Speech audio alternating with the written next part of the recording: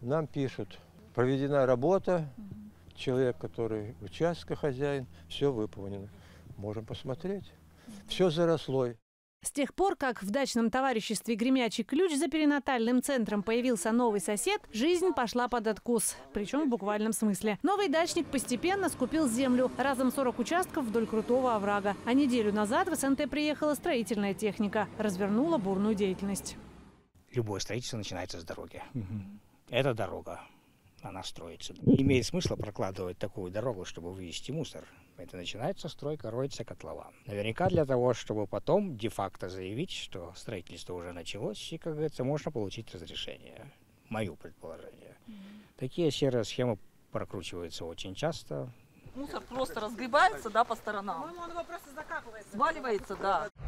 Новый владелец дачи Иван Вигель. По информации в интернете, он руководитель строительной компании «Красстройсервис». Огромный дом «Гремячий лог», микрорайон «Орбита», дома в Тихих Зорях и их работа. Дачники уверены, рядом тоже вырастут высотки. Правда, в ответ на тревожные запросы людей в мэрии разводят руками. О готовящейся стройке ничего не знают. За разрешениями никто не обращался. А на своей территории дачник, мол, может и копать, и равнять площадку как хочет. Все здесь создано для того, чтобы жить, а продумывал это. И тепло, вода. И живете вы здесь постоянно? Это ваше единственное место, да? Да, да, да. Он везде вот этот мангальчик. Олег Анатольевич сам строитель нескольких красноярских заводов. Здесь в СНТ «Гремячий ключ» отстроил дом и себе. Сейчас хорошо понимает, что происходит рядом, верит своим глазам. А уж когда к скупке дач подключились еще участники, которые также связаны с застройщиком «Крастрой», сомнений не осталось совсем. Какая судьба ждет его дом, мужчина теперь и не знает. Еще в прошлом году в этой дачной размеренной жизни появились общественные слушания о том, что делать с участком на обрыве у оврага. Жители однозначно высказались оставить обжитой и очень сложный по рельефу кусочек земли за малоэтажной застройкой. Их мнение учли. В администрации подтвердили, так и будет. А когда новый генеральный план Красноярска был утвержден депутатами городского совета, участок вдруг оказался пригодным для застройки высотками. Причем сосед о своих планах людей не уведомляет, хотя есть и правила и устав СНТ.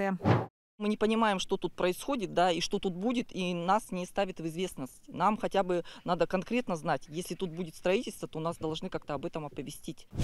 Писал в управление градостроительства разрешение, чтобы построить дом. И мне пришел на мой участок градостроительный план, и там было отмечено, что на половине участка идет зона культурного наследия. То есть первобытные люди туда-сюда а сейчас она исчезла, ее нет. Да, участника Ивана Вигеля пока все в порядке с точки зрения градостроительной документации. За разрешением на стройку его компания «Крастройсервис» и правда пока не обращалась. Но что будет делать город, когда обратятся? Ведь выкупленный участок зажат между перинатальным центром, стадионом, политехник и дачами. Сюда даже нет нормального въезда. Сегодня в Студгородке выездное совещание. Представители городской администрации, коммунальщики и жители ломают голову, как устранить очередную аварию и, главное, за чей счет. Возможно, именно ползущий склон выдавил трубы канализации из дома. Рядом микрорайон Орбита, тоже на обрыве и тоже с кучей проблем. Мы не хотим сравнивать, но оно само просится. СНТ «Гремячий ключ» тоже очень крутой склон. Если вместо СНТ и правда появятся многоэтажки, город запросто может получить еще микрорайон на обрыве, который потом придется укреплять за счет бюджета. Говорят и краевые депутаты, в генплане нужно менять статус этой земли.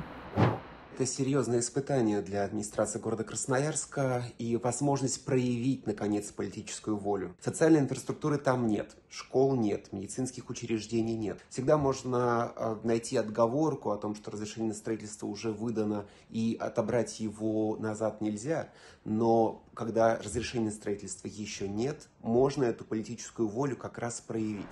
Такая застройка вполне в духе стройгруппы «Красстрой». Еще одна их дочка «Сибстройрегион» пытается впихнуть большой ЖК с другой стороны стадиона «Политехник», тоже на обрыве. Просят дать застроить 74% своей земли при разрешенных 40. В мэрии сначала отказали, а теперь дают возможность строителям продвинуть свои интересы через публичные слушания. Очередные, вероятно, скоро состоятся. И это не очень похоже на политическую волю. По узеньким улочкам СНТ «Гремячий ключ» сегодня снова ездит тяжелая техника. Якобы сносит ветхие домики и вывозит мусор. К этим работам дачники смогли привлечь только внимание Минэкологии. Их представитель зафиксировал, что остатки дачных домиков остаются под землей. Хозяину земли направит замечание. Анна Гейнц и Илья Гришан. Новости Прима.